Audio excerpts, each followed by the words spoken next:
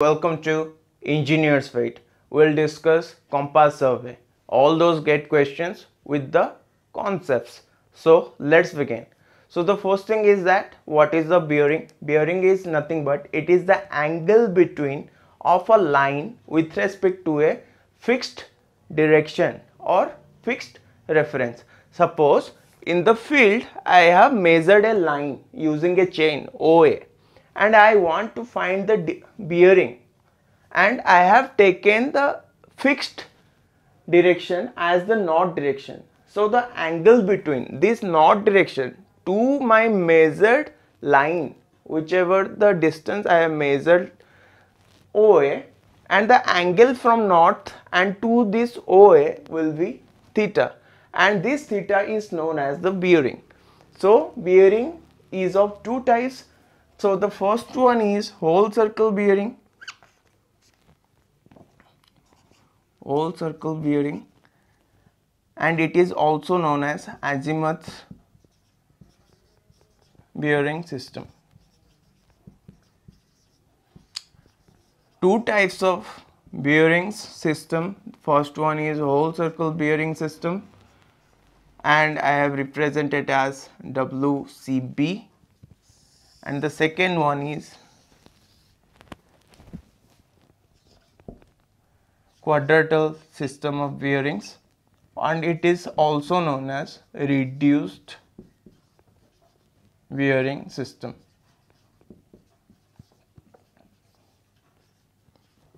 So two type of system whole circle bearing and quadrilateral system of bearings. So the important point is that first thing the direction or reference will be always from north. Here the direction or reference will be from north or south. Why we are taking north or south? I will discuss that. Whichever the whichever is nearer north or south. In this the angle with angle is valid from 0 degree to 360 degree.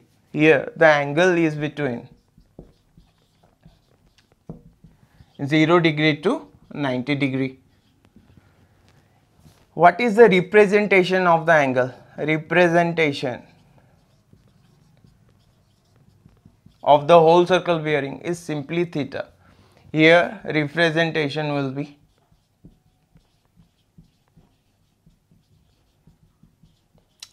north or south or anything we will discuss about that how to represent. So first thing is that let's find the WCB.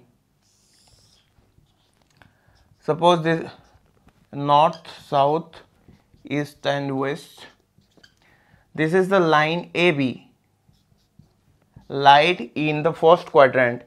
And the whole circle bearing is that simply this. Simply theta a. And again suppose there is a line which lie in this quadrant lie in this quadrant and the whole circle bearing is that always from north I have to take the angle always from north and that will be theta b. Suppose there is a line which lie in this quadrant this quadrant and all, again I have to take the fixed reference as north and from the north the angle between north and to this line is theta c. Again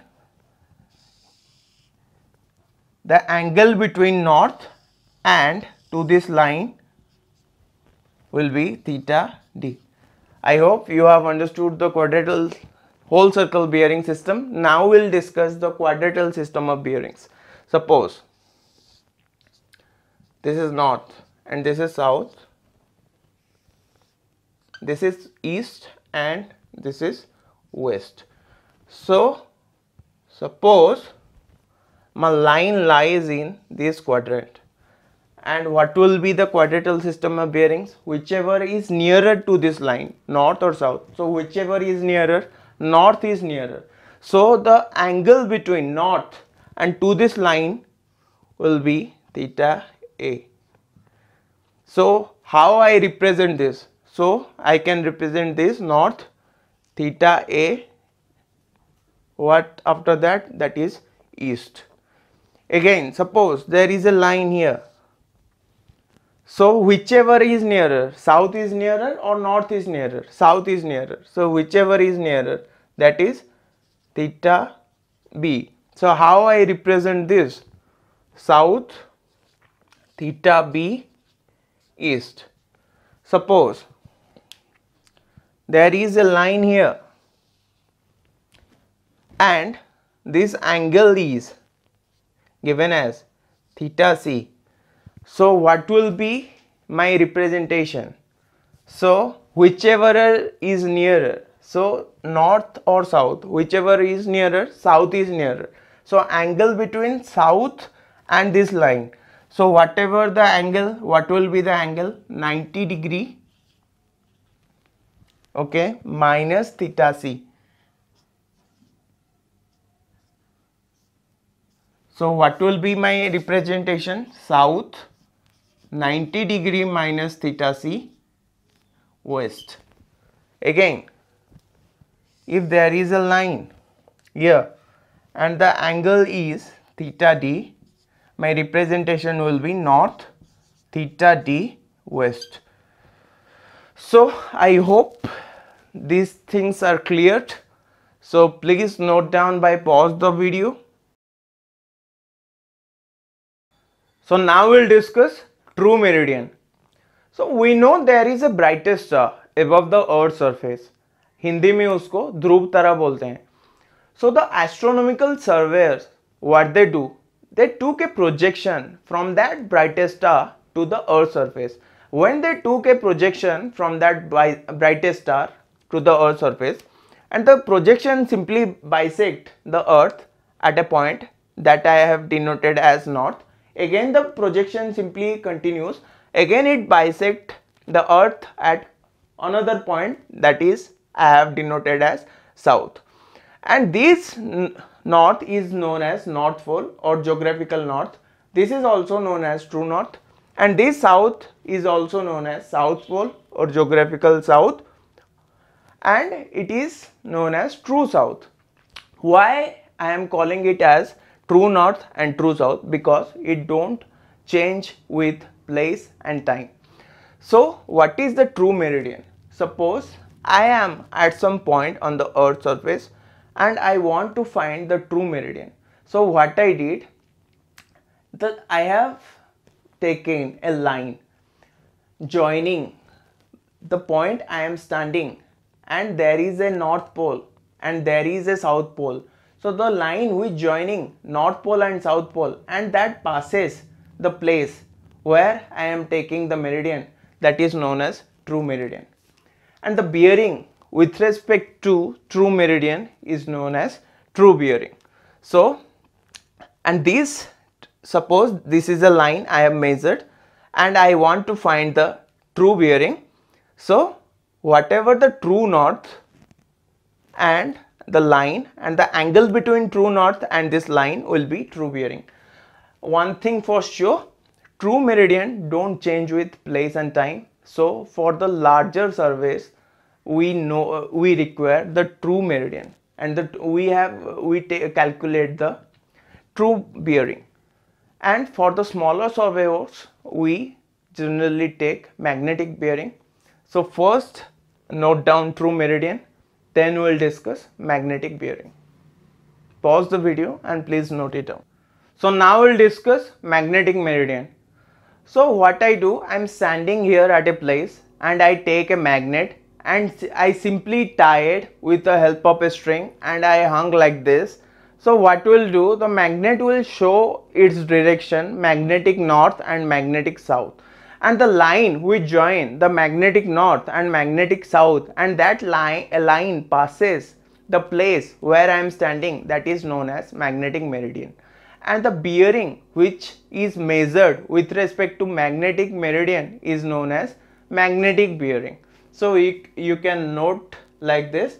The suppose this is the place I am standing on the earth surface and I simply hung the magnet. It shows the south and north. And what I did I join a line along the curvature of the earth. There is magnetic north there is magnetic south and this is the place where standing. And the line join magnetic north and magnetic south and it passes to the place that is known as magnetic meridian. And there is a line which I have measured. I have denoted magnetic north and the bearing from the magnetic north to this line is known as magnetic bearing. So please note it down. After that we'll continue. We use compass for the small surveyors and the compass gives us magnetic bearing but we require true bearing as we know that true bearing is correct and the true meridian don't change with place and time.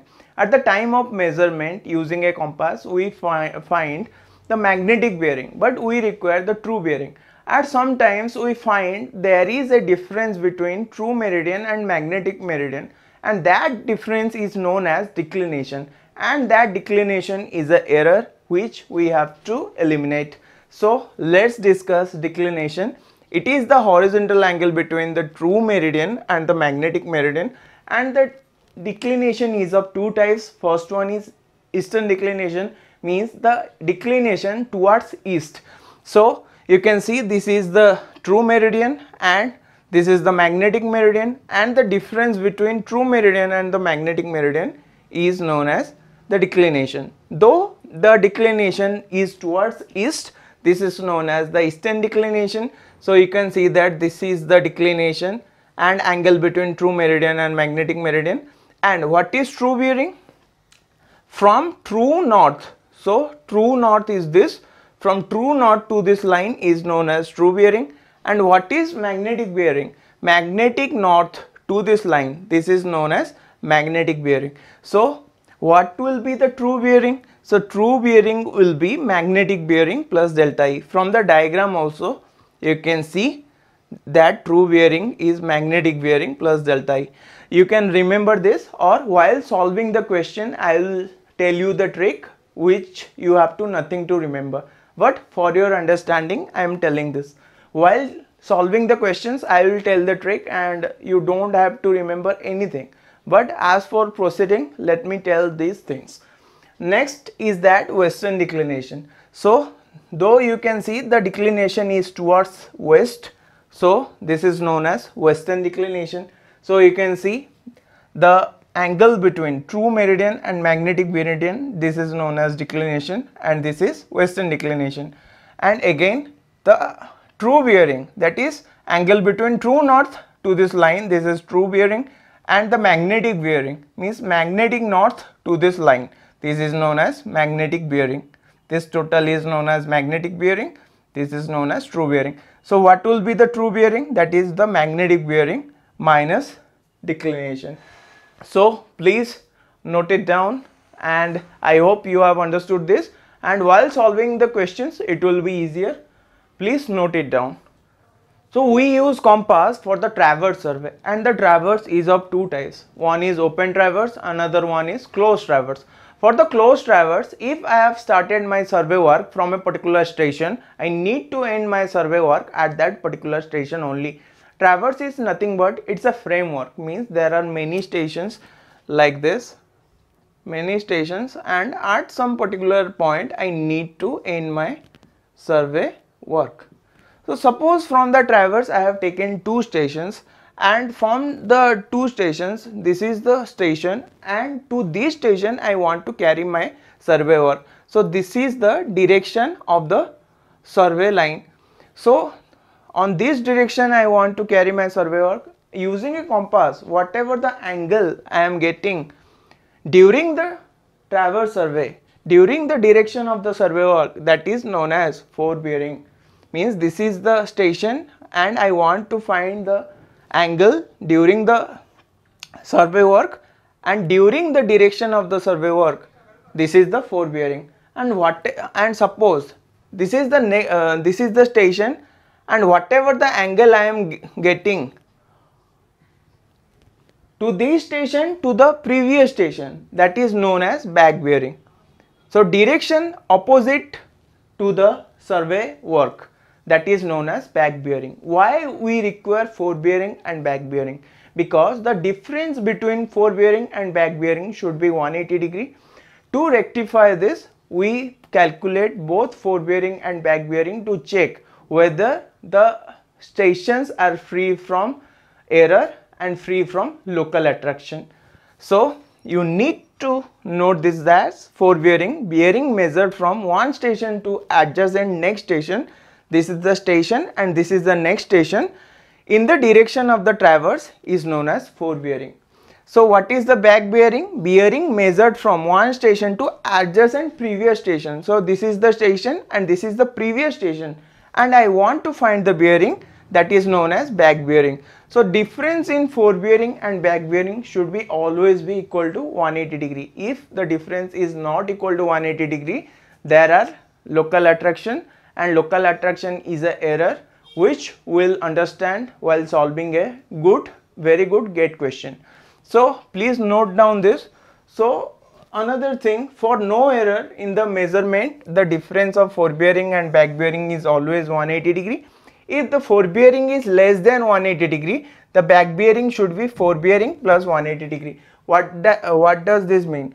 So suppose this is the forebearing this is less than 180 degree because this is the first quadrant and the first quadrant is of 90 degrees. So it is less than 180 degree. So you can see that the back bearing will be, so this is the forebearing, this will be also the forebearing and the back bearing will be and this will be the 180 degree. So the back bearing will be forebearing plus 180 degree. Again, if forebearing is greater than 180 degree for another case you can see or you can note from a textbook just see that forebearing is greater than 180 degree. The back bearing should be forebearing minus 180 degree. So please note it down and will don't remember anything because while solving the question i will tell the tricks. Uh, you don't need to remember anything but for now for your understanding please note it down so we have finished all those important concepts as for gate exam point of view, all those numerical things and concepts. For the theoretical things you can read from a textbook like the declination occurred due to variation. Variation is of four types and the types of compass, prismatic, surveyors. All those theoretical things you can read from a textbook. Whatever the numerical point of view and the important concepts from the numerical exam like gate and IES exam type I, I will discuss. So this finishes this video. In the next video we'll solve all those gate questions from the compass survey in which I will tell all those tricks. Don't remember anything but for your better understanding just revise the things whatever I have told. In the next video we'll solve all those gate questions from compass survey. So thank you for watching See you in the next video.